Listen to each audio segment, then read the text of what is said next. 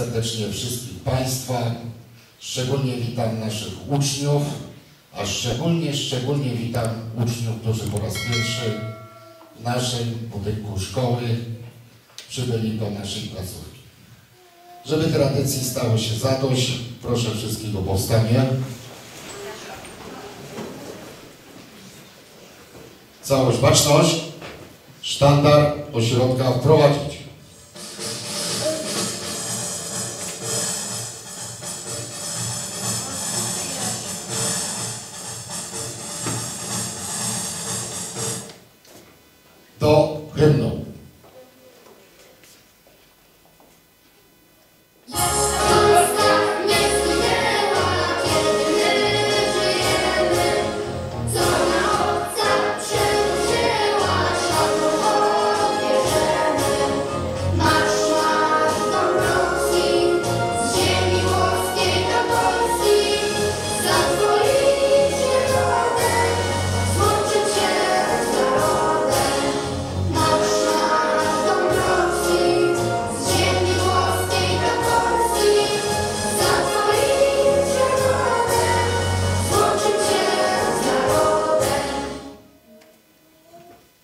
Dziękuję.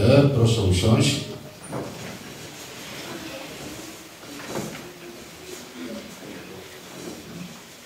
Proszę Państwa, minęły fantastyczne wakacje. Yy, Na pewno najcieplejsze lato, odkąd pamiętam. Widzę, że dzieci wróciły, i uczniowie, wszyscy dorośli obaleni, uśmiechnięci. Bardzo się cieszę. Nie miałem żadnych wiadomości o nieszczęśliwych zdarzeniach, więc tym bardziej się cieszę, że nie było wypadków w okresie wakacji. Y, Ja dzisiaj y, rozpocznę tak ze względu, że mamy jeszcze dwie tury y, rozpoczęcia roku, więc nie będę tu Państwa dzisiaj przetrzymywał. Ja tylko chciałem przedstawić dzisiaj część nowych klas, czyli te dzieci, które są w tej pierwszej turze na rozpoczęciu oraz przedstawić y, osoby prowadzące, czyli nauczycieli wychowawców, pomoce y, oraz, Szanowni Państwo, nowych pracowników. Także y, taka będzie ta kolejność. Będę na samym końcu miał jeszcze parę informacji dla rodziców. Podkreślam jeszcze te informacje, przełożą na papier Panie wychowawczyni w klasach. Także bardzo proszę nie uciekać, poczekać. Jest troszeczkę dzisiaj zmian, więc y, musicie Państwo dzisiaj to wysłuchać. Y, zapraszam do Panią Katarzynę Bandurę.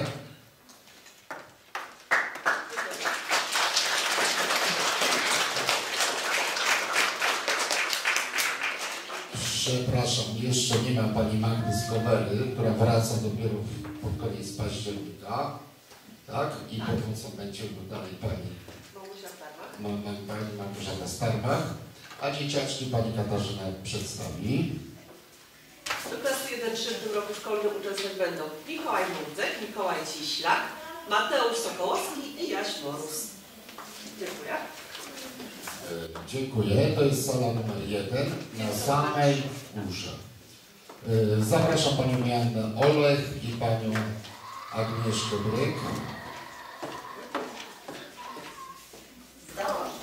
Klasy 1-3 będą Maria Kwiecień, Hania Leszczyńska, Martynka Lapusa, Piotrek Kamiński, Szymon Galeta i Szymon. Proszę Państwa, ta klasa, tu się nic nie zmieniło. E, Także zarówno Pani Joanna jest w, i Pani Agnieszka w tej klasie, także rodzice już chyba znają wszyscy. Dziękuję Panią. Pani Paulina Klasińska i Pani Anna Pawlikowska.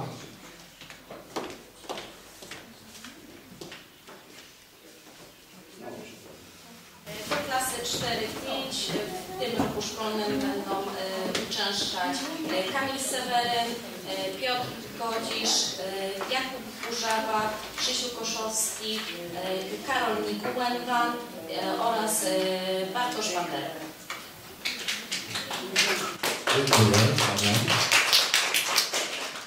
E, Proszę Państwa, te dwie panie to już po raz trzynasty bo 13 rok tak dzisiaj szybko, ale po raz 13 ja tutaj zapowiadam, w tym tandemie we dwie pracują, także z olbrzymimi sukcesami. Zapraszam Panią Milenę Ziemnicką i Panią Agatę Domajewską.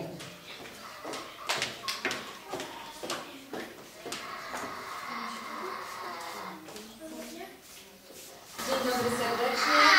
Klasa 5-6 bez zmian, ale podam dzieci Adam Wolik, Weronika Kubanek, Adrian Wieczorek, Grzegorz Dykas, Natalia Węcek.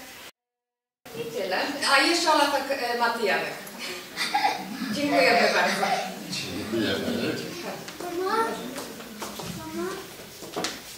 Zapraszam Panią Violettę Kiełb i Panią y, Jolantę Tomską-Murę.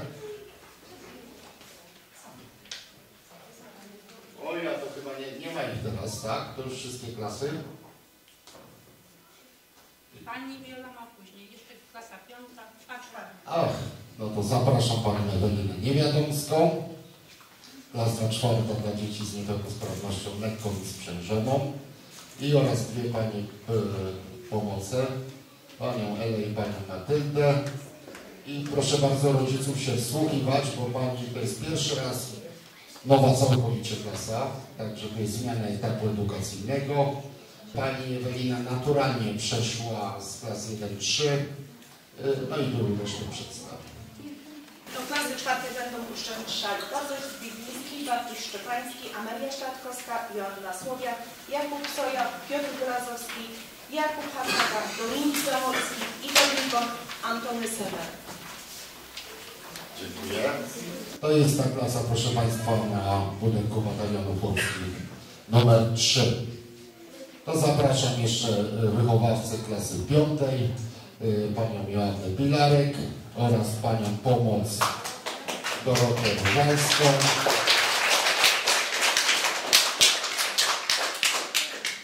E, Dzieci do klasy piątej będą uczęszczały. Burzawa Dominik, Gawroński Kacper, Maszewska Lena, Nowak Arkadiusz, to jest nowy uczeń w naszej klasie, Padnicka Emilia, Skowela Wiktoria, Słota Marcel, Smolarz Wiktor, Sroka Jakub i Stawiarski Daniel. Dziękuję. A jeszcze sala jest 13 obok auli. Zaraz, no nie uciekajcie jeszcze. Bardzo proszę. Pani, Anna, tak szybko. Proszę Państwa, y, tu też jest osobna klasa. To jest y, tak, z tych dzieci, którzy, które y, otrzymały promocję do klasy piątej, bez wydłużeń. Y, Jest w tej klasie obecnie dziewiątka dzieci. Nie będziemy więcej już przyjmować do tej klasy. W tej klasie będą prowadzone zajęcia tak jak do tej pory, natomiast klasa szósta, która, że tak powiem, od pani Joanny odeszła, otrzymali promocję do klasy szóstej, jest u pani Pauliny Gordek na budynku numer batalionu chłopskich numer 3. Także no, takie pożegnanie ze względu na liczbę dzieci. Także dziękuję Paniom. Proszę Państwa, chciałem przedstawić teraz nowych pracowników. Panią psycholog, zapraszam Panią Angelikę Grzegorczyk.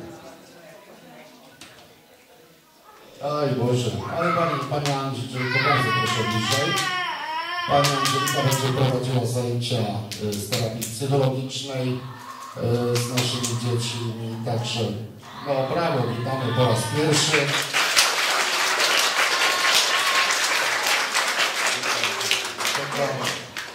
Zapraszam Pani Sylwię do nas, Kowalczyk. Y, Pani Sylka jest magisterem fizjoterapii, będzie prowadziła rehabilitację ruchową z dziećmi. Teraz komunikat dla wszystkich rodziców, którzy y, mają dzieci, które mają dysfunkcję ruchu. Prosiłbym, żeby o kontakt wychowawcą i z Panią Sylwią mm, będziecie ustalać Państwo y, no, tok, czas, y, i co będziemy rehabilitować, ponieważ fizjoterapia jest naprawdę y, jako, że tak powiem, jedna z dziedzin medycyny prawie, że, więc y, chciałbym, żeby nie było nie stała się krzywda jakiemuś dziecku, a żeby ona przyniosła efekty. Pani Sylwia ma bardzo duże doświadczenie w pracy zarówno z dziećmi, jak i dorosłymi, także słucha się wnikliwe Wasze y, podpowiedzi. Dziękuję serdecznie Paniom. Proszę Państwa, oczywiście zapomniałem, zapraszam kółka już czy wykreślone. Y, Pani Dorota Kamińska, bardzo proszę. Pomoc. Y, Bardzo proszę Panią, Panią tutaj do nas. Do klasy dołączą e, Hubert Zacłona, Julka Kozłowska-Borkowska, e, Maciej Latusek i e, Maja Lutnińska. Pozostali bez zmian. Proszę Państwa, to jest klasa 1-3 na drugim piętrze, numer y, sali numer 6. To już chyba teraz wszystkie te klasy, prawda? Y, Proszę Państwa, jak i parę takich komunikatów, żeby dzisiaj nie przedłużać, bo jest ciepło. Państwo pewnie tam czasami zaglądacie na stronę internetową i prosiłbym, żeby zwracać uwagę. Jest na podstawie tak nowej ustawy napisany program postępowania.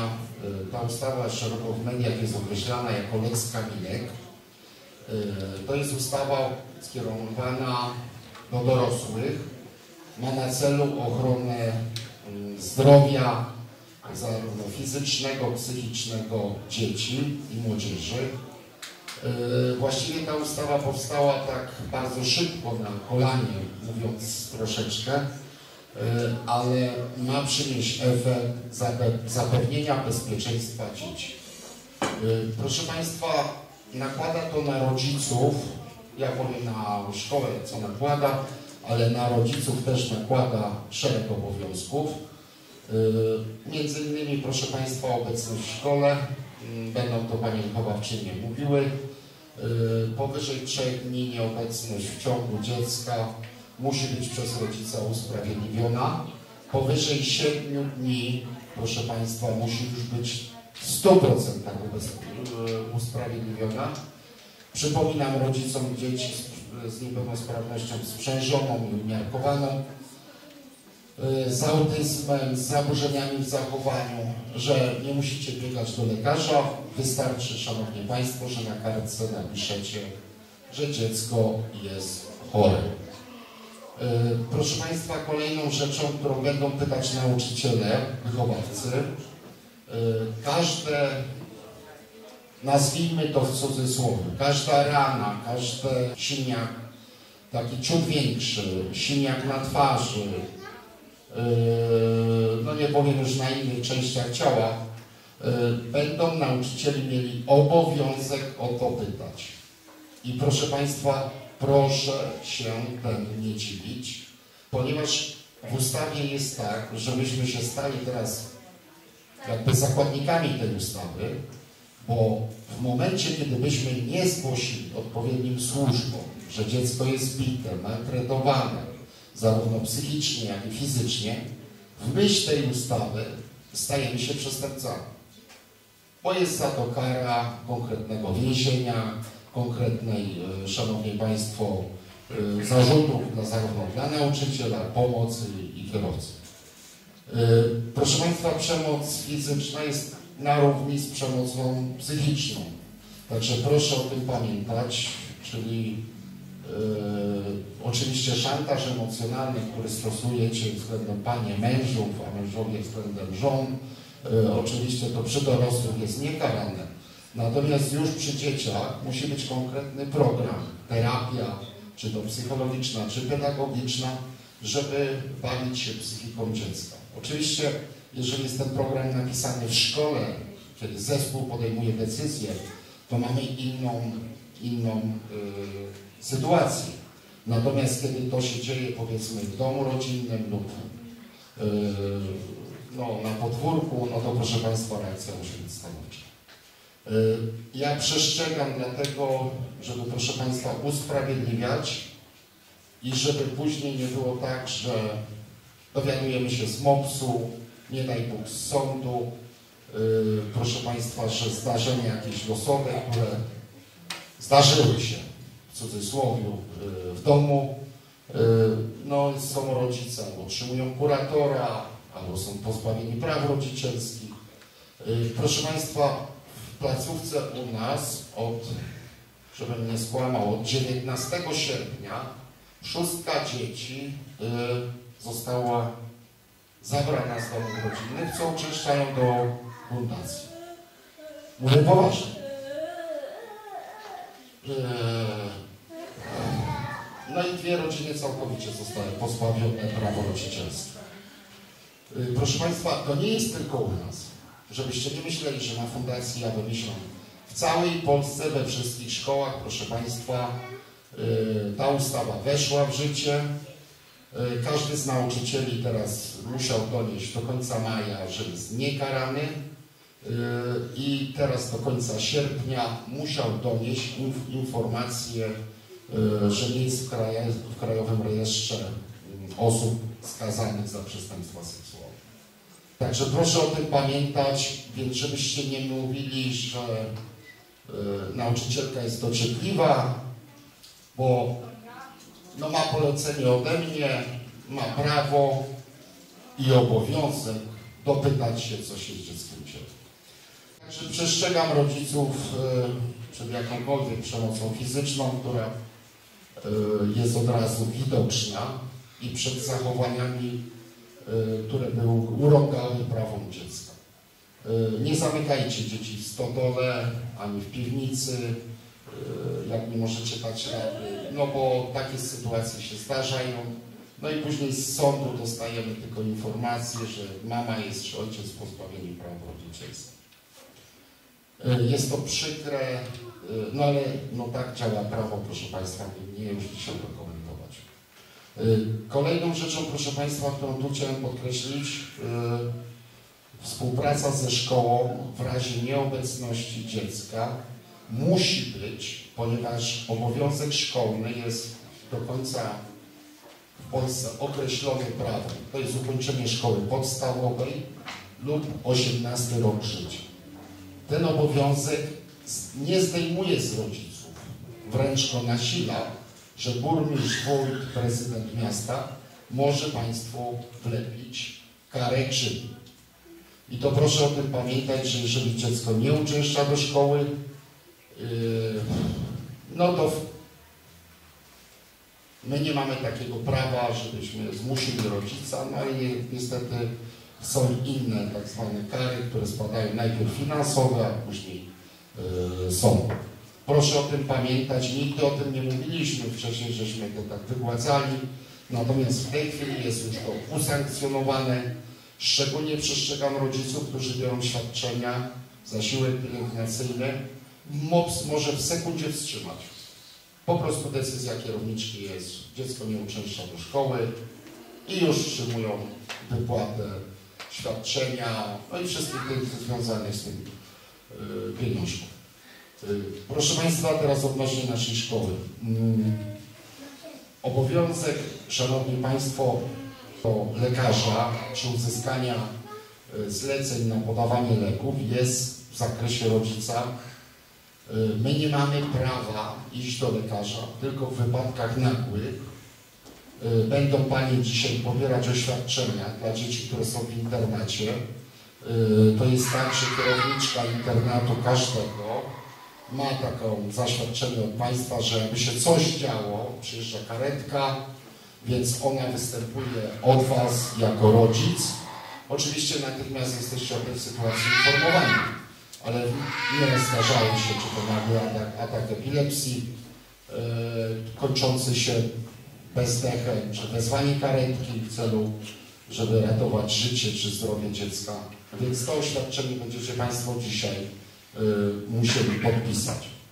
Yy, Proszę Państwa, leki nie ma żadnych negocjacji i dyskusji. Zlecenie na każdy lek z wyjątkiem suplementów i witamin, czyli jak bierzemy na przykład witaminę B1, to sobie bierzmy, nie będziemy tutaj dociekać, proszę Państwa, yy, z jakich powodów. Natomiast każdy lek, który nazywa się lek, niestety żadna z naszych pań pielęgniarek nie poda dziecku takiego leku. To proszę o tym pamiętać. I nie będzie negocjacji, dziecko będzie odwożone do domu. Także proszę o tym pamiętać. Chciałbym, żeby rodzice z gminy Morawica, Kije, nie Kije, Morawica, Kielce zgłosili się do Wydziału Oświaty i złożyli wniosek o refundacji kosztów dowozu dziecka. To przypominam, tu nauczyciele też będą o tym mówić. Yy, W tym zakresie jak yy, powiedzmy szkoła, dom, dom, szkoła. Yy, Proszę Państwa, nie zwiększyliśmy taboru, ale podmieniliśmy busy na autobusy, więc komfort teraz dowozu dzieci będzie no, większy. Może będą troszkę wolniej, ale natomiast na tych trasach już jeździ w tej chwili 6 auto- autobusów yy, 17 i 18 miejscowych, także nie mamy żadnych problemów, proszę Państwa, z dowozem. Yy, Nic więcej się, proszę Państwa, na terenie szkoły, fundacji wszystkich zajęć nie zmieni. Yy, Tak jak było do tej pory, tylko z wyjątkiem hipoterapii, która teraz będzie 5 razy w tygodniu. Dzieci będą miały zwiększone mm, liczbę godzin yy, tej hipoterapii. Doszedł wtorek. Mamy w tej chwili dwóch yy, hipoterapeutów. Nie wiem, czy Pani Ela Wojciechowska jest z nami ale Pani wróciła właśnie po macierzyńskim, również Pan Krzysztof y, jest y, przyjęty do pracy, także będzie dwóch hipoterapeutów. Basen będzie jak zwykle we wtorek. Proszę Państwa, dogoterapię będzie prowadziła Pani Aleksandra Bąk, tak jak zawsze od 13 lat.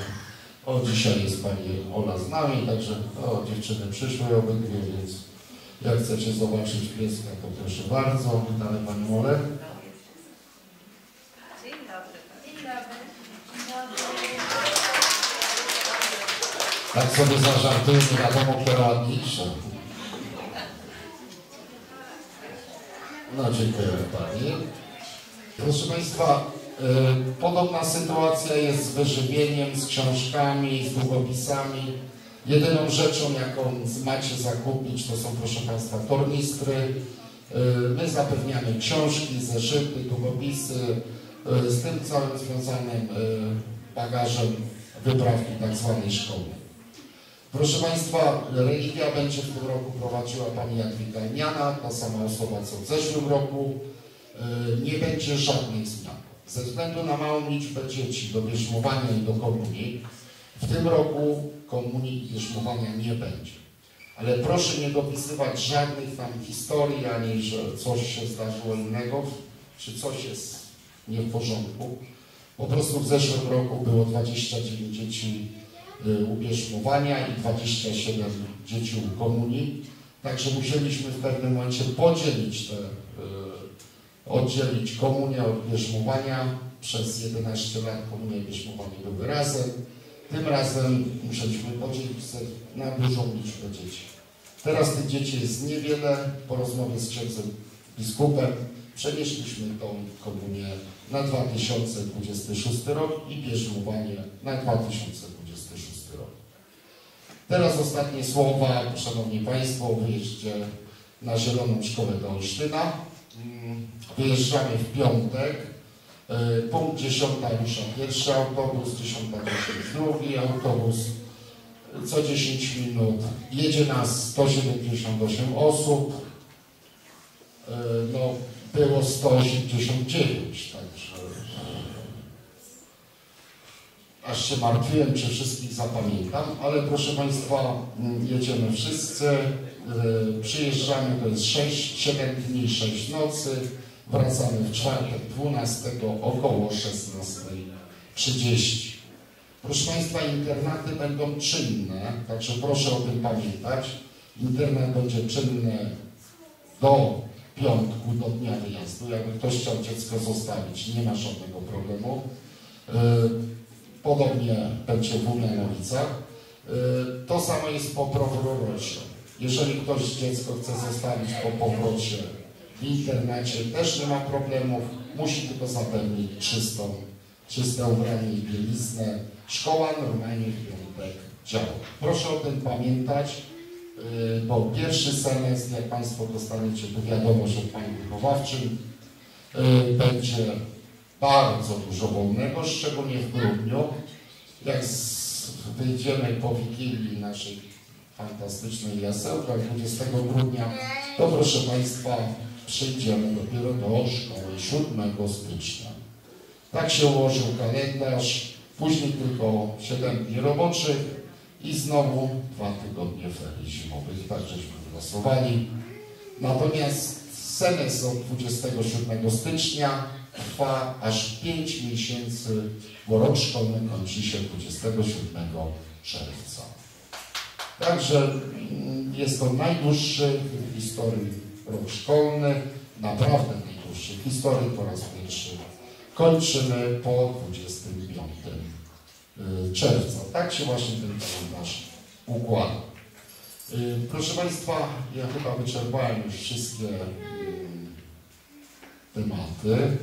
Chciałbym jeszcze przypomnieć, że 20 tu Pani będę gościł wszystkich na zebraniach. Ach, przepraszam, jeszcze najważniejsza poradnia. Yy, Proszę Państwa, prze- przeglądając w lipcu z Panią Dyrektor przeniosło orzeczenia, orzeczenia niepełnosprawności. Yy, Jest około 40 dzieci do przebadania teraz w związku yy, z datą ważności orzeczenia o niepełnosprawności wydawanego przez PCPR. Proszę o tym pamiętać wcześniej, sprawdzić sobie dzisiaj w domu, bo proszę Państwa, do tego potrzebny jest yy, opinia psychologa, ale z poradni psychologiczno-pedagogicznej. Terminy są naprawdę napięte, więc żeby to wcześniej zgłosić, my oczywiście wpiszemy na listę, yy, trzeba będzie oczekiwać. Bardzo trudno jest później w ciągu dwóch, trzech tygodni yy, no, znaleźć tam lukę, żeby psycholog yy, z poradni przebadał. Yy, To samo będzie, proszę Państwa, ze zmianą yy, orzeczeń. Część dzieci podlega normalnej weryfikacji po ukończeniu klasy trzeciej, po ukończeniu klasy ósmej. Także, proszę Państwa, no, proszę przemyśleć sobie to w domu, zobaczyć sobie, sprawdzić sobie daty. Ja my oczywiście o szkolne będziemy dbać i pilnować terminów, natomiast Wasze orzeczenia yy, no, też są ważne, bo otrzymujecie świadczenie z zasiłku pieniężnego. Ostatni temat, bo sobie przypomniałem, proszę Państwa, bardzo mi miło zakomunikować. Yy, Trzy panie yy, zdały egzamin na stopień nauczyciela mianowanego z Fundacji Złote Serce oraz w lipcu zdały trzy panie również egzamin na stopień nauczyciela dyplomowanego. Yy, Z naszej szkoły, proszę Państwa, yy, jest pięcioro, czworo, przepraszam, i dwie panie z punktu przedszkolnego. Yy, Jeszcze mnie pytali rodzice na korytarzu. Proszę Państwa, mamy siedmiu logopedów w tej chwili, dwóch psychologów, tu w Pińczowie. Yy, Ja nie mogę odpowiadać na pytania, bo nie pamiętam po prostu, czy dziecko jest zapisane do pani Grażyny, czy do pani Małgorzaty, yy, czy do pani yy, Anny Grosickiej. Jeżeli będziecie do 20 września, otrzymacie to wszystko na zebraniach z rodzicami. Jeśli ktoś ma jakieś pytania, to bardzo proszę. Jeśli nie, to proszę wszystkich o powstanie. Całość, baczność. Sztandar ośrodka wyprowadzić.